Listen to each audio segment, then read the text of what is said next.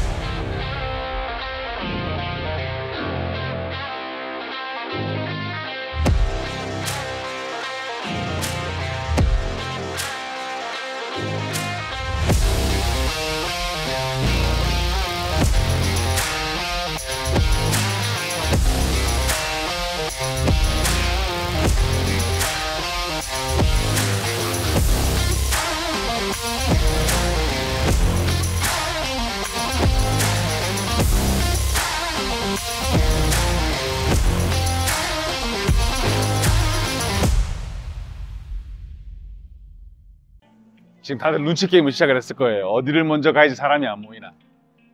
나도 지금 눈치 게임 좀 하고. 일단 한번 둘러보시죠. 지금 저 기 두 기계를 보시면 굉장히 중요한 점이 있어요. 한 개는 유선입니다. T2000-2 둘이 신형인데 배터리예요. 유선이 무조건 좋아야 되는 거거든요 원래는. 어떤 차이가 나는지 어 구경해 보면 좋을 것 같아요 개인적으로 힐티에서 나오는 브레이커라 그러죠. 브레이커는 굉장히 유명하기 때문에 어, 기대가 돼요.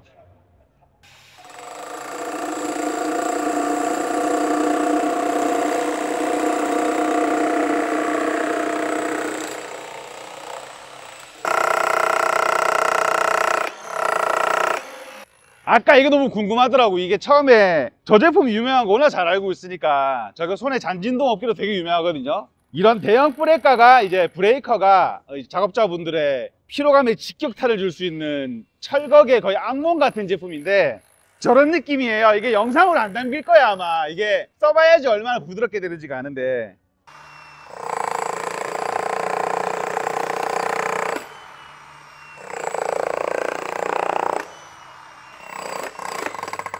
타격감이 아예 달라. T2000 저 모델 같은 경우에는 되게 부드럽기만 한데, 아, 물론 성능이 안 좋다는 건 아니에요. 어, 왜 이렇게 부드러워 느낌인데, 얘는 부드러운데 왜 이렇게 세 느낌이에요? 이게 말이 지금 꼬이는데, 얘는 부드러운데 왜 이렇게 힘이 세 느낌이거든요? 그리고 한 가지 우려했던 게 아까도 말씀드렸지만, 이거 무게 무거워서 일하겠나 싶었는데, 안 무겁습니다. 지난번에 누구더라? 어떤 이게 유튜버 분이 되게 무겁습니다 라고 말씀을 하시는 걸 들었는데, 아, 무거워요. 철거하시는 분들이 힘이 좀 셉니까? 이제 그분들에게는 그냥 간단하게 들고 다닐 수 있는 그런 정도의 무게라고 말씀을 드려도 무방합니다. 어, 비속 한번 쓸게요. 와, 개 좋네. 너무 좋네. 다음으로 한번 시간 넘어가 보도록 할게요. 자, 일단 작업해 볼게요. 아까 먼지 양 보셨죠? 아, 소리 봐.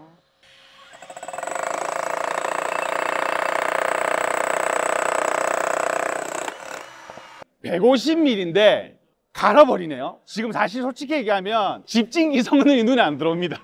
아마 근데 영상으로는 티가 많이 났을 거예요. 확실히 날리는 분진 같은 게 거의 없다시피 하기 때문에 지금 여기는 오픈된 공간이지만 현장은 보통 협소하죠. 보통 뭐 벽면을 부수든 보통 얘로 뭐 이제 벽면을 부수진 않지만 바닥을 부술 때 협소 공간이나 그런 밀폐된 공간에서도 많이 뚫으시는데 이렇게 되면은 집준으로도 완전 완전 무선인 거잖아요. 어디 뭐 줄 끌고 다닐 필요 없이 완전 무선으로 활용을 할 수가 있기 때문에 한마디로 정리하면 진짜 와예요 와. 와라는 얘기밖에 안 나와요. 제가 이게 유튜버 직업 특성상 유튜버다 말을 이렇게 길게 하고 있는 거지 일반인 분들이 보시면 은 그냥 와 하고 말 정도로 이게 입이 다물어집니다 성능이. 이게 그리고 한 번 더 얘기하지만 안 무겁습니다. 혹시나 이게 오해하시는 분들이 계실까봐 말씀을 드리는 거예요. 얘를 들고 벽면을 부수면 무겁겠지. 근데 보통 얘로 벽면을 부수진 않으니까 바닥에다 놓고 작업을 하는 공구인데 이 정도 무게면 무겁다고 생각이 안 듭니다. 그리고 어느 정도 무게감이 있어야지 바닥을 뚫을 때 힘 전달도 가능하고. 근데 항상 느끼는 건데 힐티에 와 이 뭐라 그러노 이거. 자 저진동은 어마어마하네요. 솔직히 얘기하면 저진동은 유선 제품이 좀 사기급이고 얘는 힘이 올라갔다 보니까 진동이 저거보다는 좀 올라가긴 했는데 두 개 중에 뭘 쓸래 그러면 저는 이겼습니다. 무조건 이겼어요. 금액을 떠나서 저는 무조건 이겼을 것 같아요.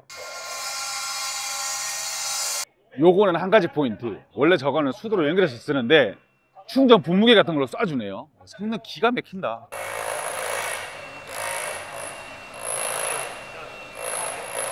한마디로 정리할게요. 와, 진짜 와. 8줄이 넘어가면 유선이에요. 저 크기에 유선의 힘을 낸다는 게 웃긴 거거든요. 근데 이게 벽면 작업한다고 아예 파괴를 못해서 힘이 약해 보였을 수도 있는데 아니에요. 원래는 유선이 저런 성능이 나와야 되는데 충전으로 지금 저런 성능이 나온다는 것 자체가 되게 흥미롭습니다.